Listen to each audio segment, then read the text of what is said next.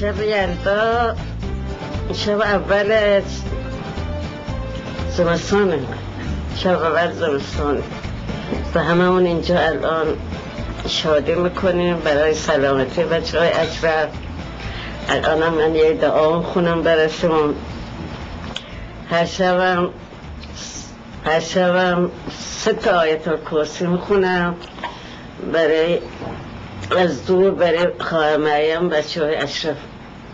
بسم الله الرحمن الرحیم. برای سلامتی بچه های شهر شرف برای سلامتی خواهر مریم.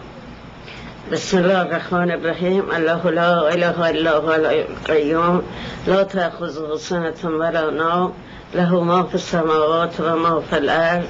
من ذا الذي يشفع عنده الا باذنه يعلم ما بين ايديهم وما خلفهم ولا يحيطون بشيء من علمه الا بما شاء وسع كرسي السماوات والارض خدایا به حق شب عزیز قسمت بدهم بچه های شهر شرف در پناه خودت حفظ کن. آمین. الهی آمین. هر مریم برادر مسعود برای ما نگه دار حفظشون همیشه دعای خیر من و همه ماها بر غیر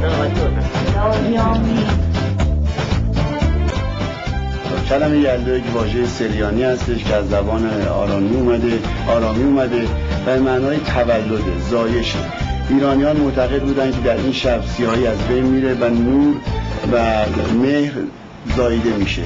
به همین خاطر من فکر می‌کنم که این تقارن داره با هر که اشرفیان پایداری کردن و انشالله این سیاهی و ظلمت آخوندی از مملکت ما پاک میشه و طلوع مهر تابان ایران یعنی خواهر مریم برای ایران و اشرفیا در مقام میاد و در ارتباط با اون مسئله که شما گفتی هند مبین شیرینی هستش که شیرین کامی در این شب داشته باشن پست لب خندان هستش. و انار هم سرمنشه زایش و برکت هستش و اون تکسر تکثیری که در دانه های انار هستش اینه که ایرانیان باستان.